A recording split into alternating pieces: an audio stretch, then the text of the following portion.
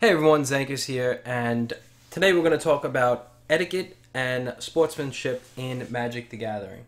But before I get into it, as always, hit that subscribe button, hit hit the like, hit the little bell, leave a comment, let me know what you think about uh, this whole situation. So let's get into it. Uh, a few days ago, I saw, um, I think it was a Reddit post about uh, the Pro Tour. The guy lost. Uh, the winner um, extended his hand and he said, "No thanks." Couple couple seconds later, he extended his hand again, and again he said, "No thanks." So we did at that point we didn't know why he didn't shake the guy's hand. There was a lot of speculation. Maybe he's a germaphobe. Maybe he just like doesn't like touching people. Maybe something like that. Uh, and I was I was behind that. I'm like, listen, if you legitimately uh, don't shake people's hands, you know, you, you want to uh, extend the congratulations or you know like a good game, GG, something like that in some other way, I have zero problem with that.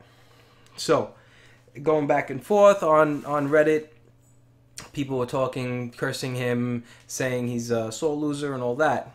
Then we have an article that comes out um, on Epic Stream, the reason why he refused the handshake.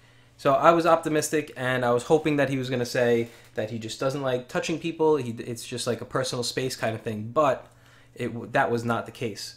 The case was he was salty. So basically, he was a sore loser, and he didn't want to shake the other guy's hand. Um, he get this article goes into it a little bit. Um, here we got uh, Benjamin Nikolic, so we'll just call him Ben for short.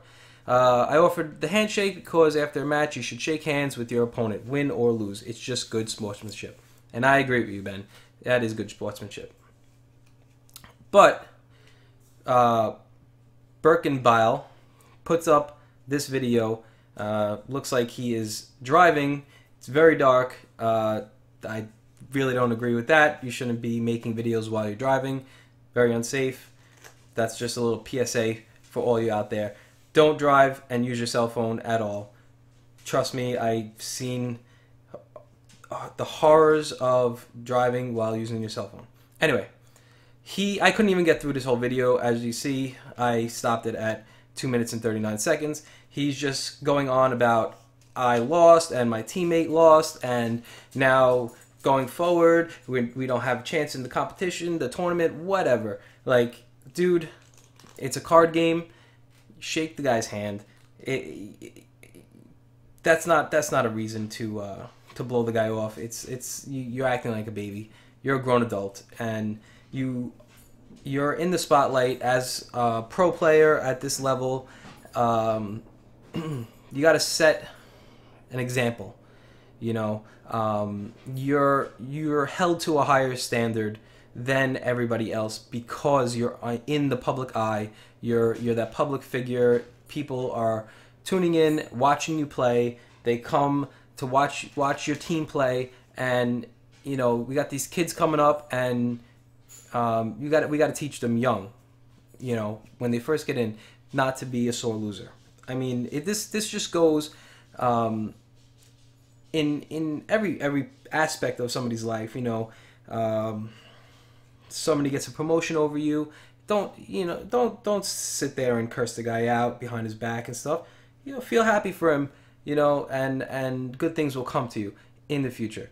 Anyway, like like in sports, you know, I've seen baseball games where there's dugout clearing fights and they're brawling and guess what? After the game, the winners and losers they shake each other's hands. That's that's after that's after they fought on national TV, and then they're shaking each other's hands.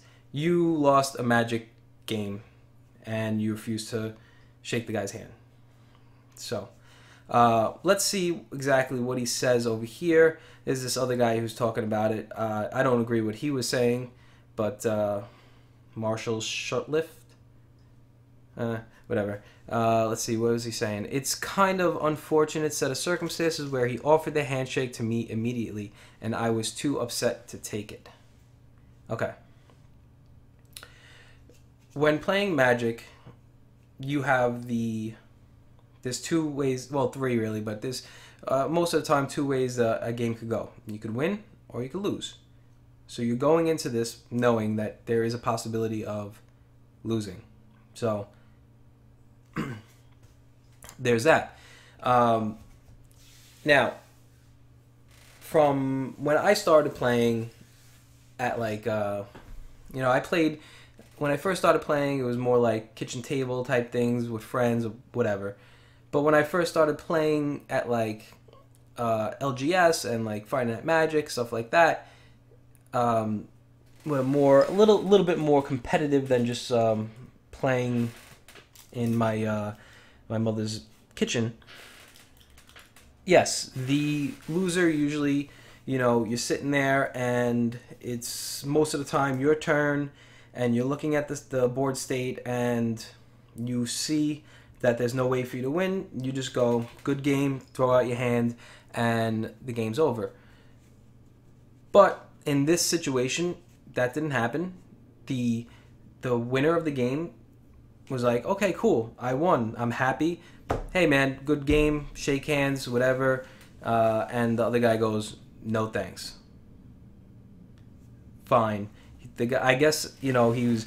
He even admitted on this video that he made that he was cursing with his friends, so it was like very salty. The guy shouldn't have put his hand out a second time. Just you know, I guess the guy felt embarrassed because I, I know if I, you know, have you ever been left hanging, standing there with your hand up, and somebody just walks by you, and you just give yourself that the the, the high five just to be like, all right, yeah, um, cool. You know, you didn't give me that. That's what this guy probably felt like, and that's not cool.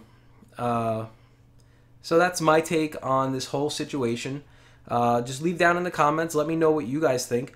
Uh, I I think that uh, yeah, this is another point I wanted to get to. Um, this whole uh, I guess how do you want how do I say this? Uh, biased or not biased like this uh, stereotype there that's a good word. The stereotype on Magic the Gathering players these this antisocial type oh you uh, you play Magic you you're not you're not cool you're not anti you you, you might be antisocial um, and I I from what I've seen it's completely op- the opposite you know you go into well, when I go into my my old LGS, the the new one that I go to now, you know, everybody's laughing, joking, talking. It's not like we just, you know, you go there and you're just sitting there waiting for your game to start and twiddling your thumbs. You don't want to talk to anybody.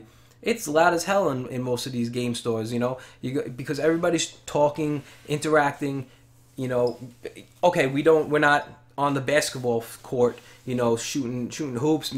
Does that make us antisocial? No so this guy is just like perpetuating the stereotype of like this saltiness, this antisocial, don't want to, don't know the real social cues of um, of interacting with other people. So I don't like that.